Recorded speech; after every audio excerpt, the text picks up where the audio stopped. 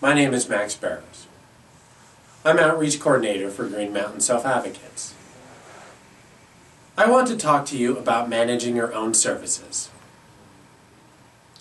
In the disability community, many people get services through an agency, but some are learning how to manage their own services. Even though there are challenges that come with it, it is worth a try. One of the challenges of self-managing your own services is hiring, supervising, and evaluating an employee. So we would like to give you some good information. Sometimes you get lucky finding somebody. Other times it can be very hard. Make sure that it's somebody you can get along with and who best fits your needs.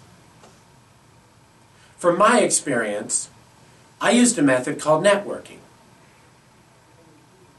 This is when you talk to people in your life about what you need. In my case, I ended up hiring someone I knew from when I was in school. There seems to be several barriers to finding the right person. One of them is finding someone who is willing to work part-time. Another is finding someone who can work a flexible schedule. For example, my schedule can vary from week to week. The most important thing in this process is to know your disability and what you need for accommodations. Next, you have to create a job description. A job description outlines the tasks and expectations you have for your potential employee. This would include your accommodations that you want them to put into action. After you completed a job description, you need to get the word out that you are looking to hire. For me, I used a networking method. Advertising is another way to find an employee. After creating an ad, you can post it in the newspaper. You can also post ads on bulletin boards in your community or on the internet, such as www.rewardingwork.org. If a person wants to apply for a job, you need to have them send you a resume. Excuse me. If the person doesn't have one, have them fill out an application. Now you are on the interviewing process. During the interviewing process, it is best to have a set of questions. You want to know if the person has experience around persons with disabilities. This is so you can find out if they will best fit your needs. Next, it is important to check the references of the person you are hiring. ARIS will take care of the payroll.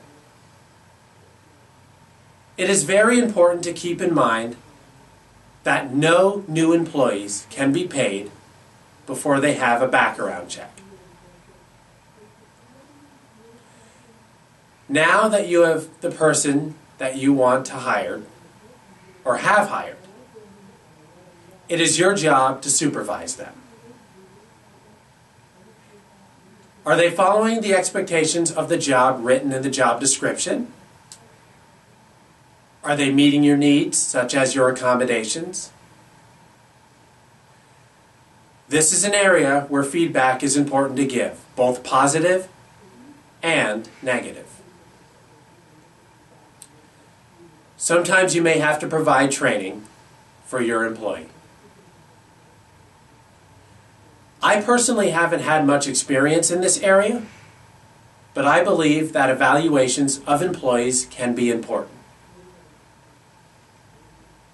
Evaluation is a way for you to keep track of the level of performance.